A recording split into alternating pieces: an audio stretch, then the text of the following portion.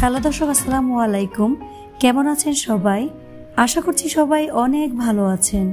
আমিও আল্লাহর রহমতে অনেক ভালো আছি। আজ আবারও চলে এলাম সবার খুবই পছন্দের একটি রেসিপি নিয়ে।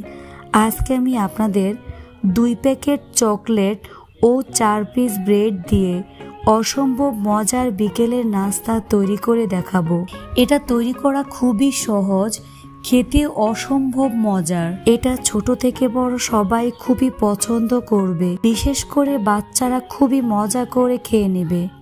আশা করছি রেসিপিটি আপনাদের কাছে ভালো লাগবে। তো চলুন রেসিপিটি দেখে নিচ্ছি। এই রেসিপিটি তৈরি করার জন্য এখানে আমি চার পিস ব্রেড নিয়েছি। এখান থেকে এক পিস ব্রেড নিয়ে ছুরির সাহায্যে সাইডগুলোকে সমান করে কেটে নেব।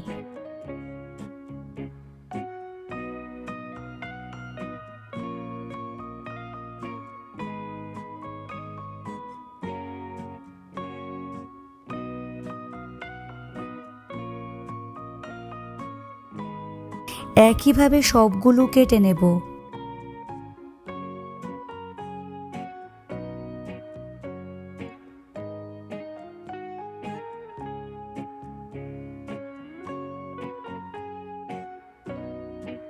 তো সবগুলো আমি একইভাবে কেটে নিয়েছি। এবার কেটে রাখা ব্রেড থেকে এক পিস নিয়ে একটি চকলেট ব্রেডের উপরে দিয়ে দিচ্ছি।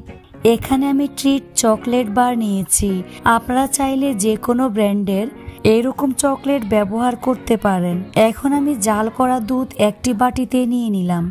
এবার এইরকম একটি ব্রাশের সাহায্যে ব্রেডের চারপাশে লিকুইড দুধ নিয়ে ব্রাশ করে দিচ্ছি। খুব ভালোভাবে ব্রেডের উপরে লিকুইড দুধ লাগিয়ে নিতে হবে।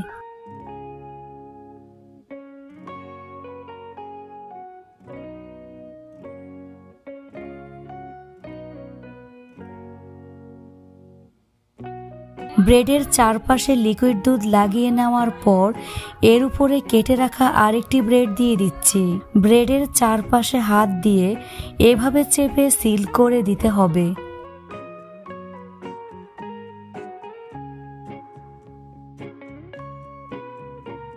একইভাবে আরেকটি তৈরি করে দেখিয়ে দিচ্ছি। তো একইভাবে আরেকটি ব্রেড নিয়ে উপরে চকলেট দিয়ে দিলাম। ঠিক একইভাবে ব্রেডের চারপাশে লিকুইড দুধ দিয়ে ভালো করে ব্রাশ করে লিকুইড দুধ লাগিয়ে নেব। তবে খুব বেশি লিকুইড দুধ দেওয়া যাবে না।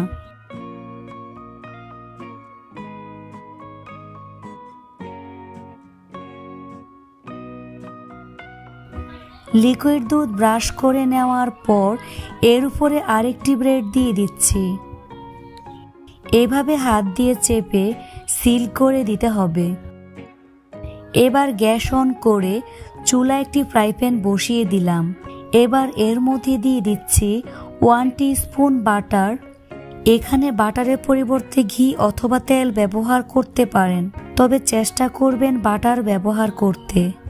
এতে করে খুবই সুন্দর অ্যারোমা ছড়াবে আর খেতে অনেক ভালো লাগবে। বাটারটাকে গলিয়ে ফ্রাই প্যানে ছড়িয়ে দিতে হবে। বাটার ভালো করে গলে আসলে এর মধ্যে ব্রেড দিয়ে দিচ্ছি। ব্রেডটাকে এইভাবে চেপে দিচ্ছি। এবার চুলারা স্লো ফ্লেমে রেখে ঢাকনা দিয়ে ঢেকে রেখে দিতে হবে দুই থেকে তিন মিনিটের মতো। দুই মিনিট পর ঢাকনা উঠিয়ে ব্রেডটাকে উল্টে দিচ্ছি, যাতে করে দুই পা সমান করে ভাজা হয়।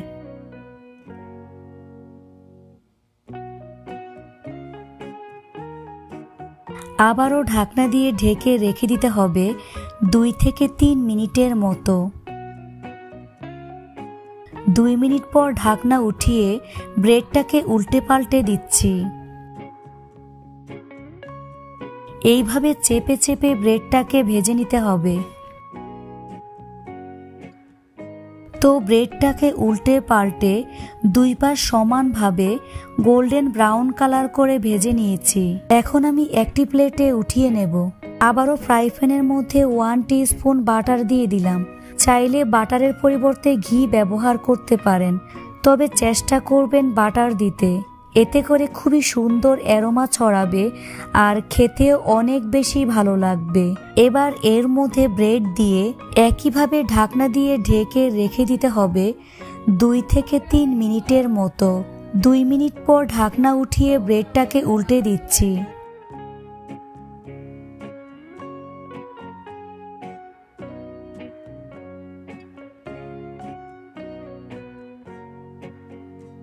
আবারও দুই মিনিটের জন্য ঢাকনা দিয়ে ঢেকে দিলাম। ফিরে আসলাম দুই মিনিট পর, এখন ব্রেডটাকে উল্টে দিচ্ছি। এভাবে উল্টে পাল্টে ব্রেডটাকে গোল্ডেন ব্রাউন কালার করে ভেজে নিয়েছি। এখন একটি প্লেটে উঠিয়ে নিচ্ছি। এখন এইরকম একটি ছুরির সাহায্যে ব্রেডটাকে কেটে দেখিয়ে দিচ্ছি। এটা দেখতে যতটা না লোভনীয় মনে হচ্ছে। খেতে তার থেকে বেশি মজার। এই নাস্তাটি বাচ্চারা খুবই পছন্দ করবে। আর খুবই মজা করে খেয়ে নেবে। বাচ্চাদের টিফিনে অথবা বিকেলে চায়ের আড্ডায় ঝটপট তৈরি করে নিতে পারেন। আশা করছি রেসিপিটি আপনাদের কাছে অনেক ভালো লেগেছে। ভালো লাগলে অবশ্যই একটি লাইক দিবেন আর বন্ধুদের সাথে বেশি বেশি করে শেয়ার করবেন। আজ এখানে বিদায় নিচ্ছি। সবাই অনেক ভালো থাকবেন। আল্লাহ হাফেজ।